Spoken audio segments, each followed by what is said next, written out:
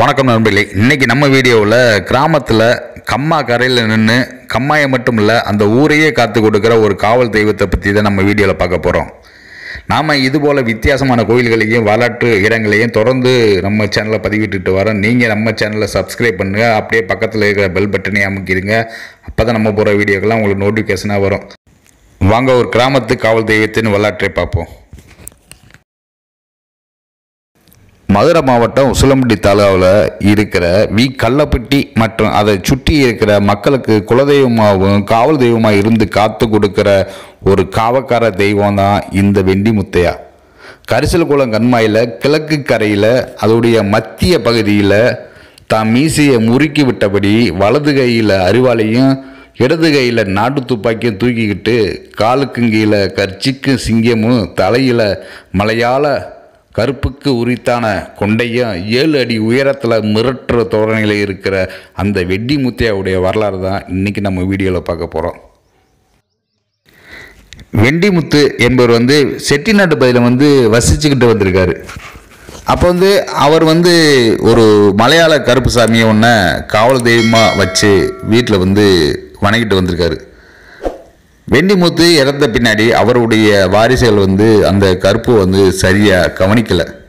தனக்குரிய பூஜை புனஸ்காரங்கள் நடக்காதனால உ- உக்கிரமடைஞ்ச கருப்பு வெண்டிமுத்தியா வாரிசுகளுடைய வளர்த்து வந்த கால்நடைகள் மீது தன்னுடைய கோபத்தை காட்டியிருக்காரு.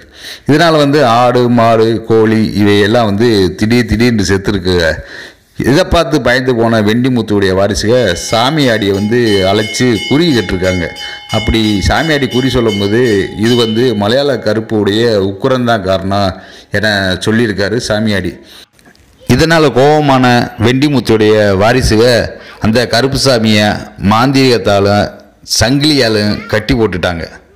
ரொம்ப நாள் அழித்து ரொம்ப நாள் கழித்து தன்னுடைய முழு பலத்தையும் திரட்டி கட்டி போட்டிருந்த சங்கிலியை அறுத்து வெளியே வந்துட்டார் கருப்புசாமி. அப்படியே கோபம் கொண்ட கருப்புசாமி அப்படியே மேற்கு திசையை நோக்கி நடந்துக்கிட்டே வந்திருக்காரு. அப்படி அவர் மேற்கு திசையை நோக்கி நடந்து வந்தபோது வி. கள்ளவெட்டி எல்லையிலிருந்து கரிசக்குளம் கம்மா வரைக்கும் வந்தபோது அந்த பகுதி வந்து அமைதியான சூழ்நிலை இருந்திருக்கு. அப்படி அமைதியான சூழ்நிலை அந்த கருப்புசாமிக்கு பிடித்து போக அவரும் அங்கேயே தங்கிட்டார்.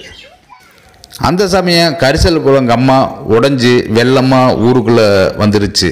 உடனே கள்ளவட்டி கிராமமே திரண்டு அந்த கண்மையை அடைக்கிறதுக்காக கரையை எழுப்பியிருக்காங்க. பகல் ஃபுல்லாக அவங்க கரையை எழுப்பியிருக்காங்க.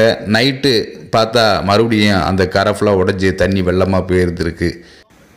ஊரே திரண்டு பகலில் வந்து மண்ணை வெட்டி கண்மாய் கரையை வந்து ரெடி பண்ணியிருக்காங்க. மறுபடியும் இரவு ஆன உடனே அந்த கம்மாக்காரை உடஞ்சி தண்ணி ஃபுல்லாக வெளியே இருக்கு. இந்த கருப்புசாமி தன்னுடைய வேலையை அந்த இடத்துல காட்டியிருக்காரு. கண்மாக்காரையை உடப்பவரை கையங்கலமாக பிடிக்கணும் அப்படின்னு சொல்லி ஊருக்காரங்க ஒரு நாள் இரவு முழுவதும் அந்த கண்மாக்கரையில் காவருந்திருக்காங்க அப்படி வழக்கம் போலயே அந்த கருப்புசாமியை அந்த கம்மாக்கரையை உடைக்கிறதுக்காக வந்தபோது அந்த மக்கள்கிட்ட வந்து கையங்கலமாக மாட்டிக்கிட்டார். அப்போ ஊர் பெரியவங்க கிட்ட தான் பூர்வீகத்தை பற்றி அந்த கருப்புசாமி சொல்லியிருக்காரு. எனக்கு இந்த இடம் ரொம்ப பிடிச்சு போச்சு. இனிமே நான் வந்து இங்கே தான் தங்குவேன். நீங்கள் உடஞ்சிருக்கிற இந்த கண்மாயை காக்கணும்னா எனக்கு இப்போவே கருங்கடா வெட்டுங்க பொங்கல் வைங்க. கண்மாயை உடையிறத நான் நிப்பாட்டி கொடுக்குறேன் அப்படின்னு சொல்லி கருப்புசாமி சொல்லியிருக்காரு. உடனே ஊருக்காரங்களும் அப்போவே மூணு கருங்காலி கிடாக வந்து வெட்டி ரத்தத்தை வந்து காட்டி பலி கொடுத்துருக்காங்க. பொங்கலும் வச்சுருக்காங்க. ஊர் மக்கள் அடுத்த சில மணி நேரத்திலேயே அந்த உடப்பையெல்லாம் சரியாகி கண்மா சரியாயிடுச்சு. அப்போதிருந்தே கண்மாயை வந்து அந்த கருப்புசாமி காவல் காக்க ஆரம்பித்தார் அவர் காவல் காக்கிற ஆரம்பித்த காலத்திலேருந்தே இன்று வரைக்கும் அந்த கண்மா உடைஞ்சதா சரித்திரம் இல்லை. காவல் காக்கிறது கருப்புன்றதுனால இது வரைக்கும் அந்த கண்மா பத்திரமா உடப்படாமல் இருந்துட்டு வருது.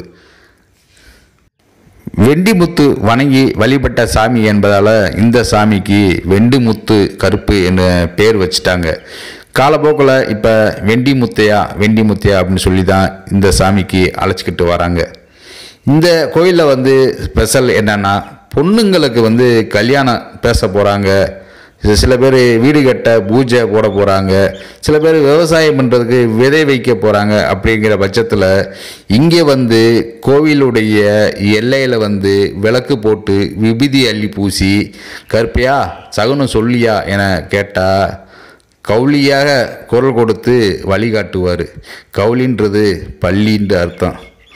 திருடர்கள் கொள்ளக்காரங்க இவங்களுக்கெல்லாம் வந்து சிம்ம சொப்பனமாக இங்கே இருந்து இந்த மக்களை இன்னைக்கு வரைக்கும் காத்து கொடுக்குறாரு இந்த வெண்டி முத்தையா. யாராச்சும் தனக்கு மோசம் பண்ணிட்டா நேராக வந்து கோயிலுடைய வாசலில் வந்து இன்னார் என்ன மோசம் பண்ணிட்டார் வெண்டி முத்தையா அந்தால நீ தான் கேட்டு கொடுக்கணும் என கண்ணீர் விட அந்த இடத்துல வந்து அழுதா அன்னைக்கு இரவே மோசம் பண்ணியவனுடைய கனவுல வந்து துப்பாக்கியோட போய் நின்று மிரட்டுவார். அது தெரிஞ்சு அந்த நபர் வந்து பரிகாரம் தேடி தான் தவற உணர்ந்துடணும் இல்லைன்னா அவங்க வீட்டில் இருக்கிற கால்நடையில் வந்து காவு வாங்குவார்.